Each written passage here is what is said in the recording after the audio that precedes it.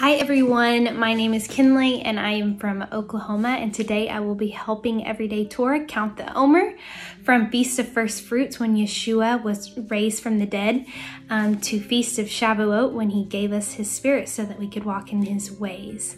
Today is day 15 and it is the first day of the third week of counting the Omer. And actually this is my first year to truly be a part of God's holy days and to just um, experience it all. And it's been incredible, and I'm excited for what is to come.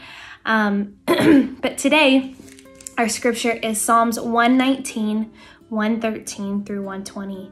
I hate vain thoughts, but thy law do I love. Thou art my hiding place and my shield.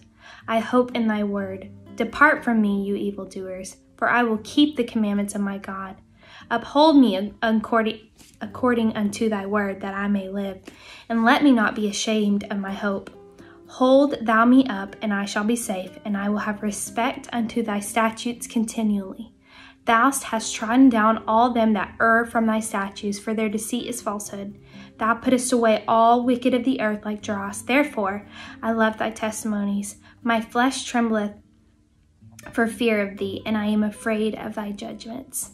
Thank you so much for joining us today, and I pray you have a blessed week.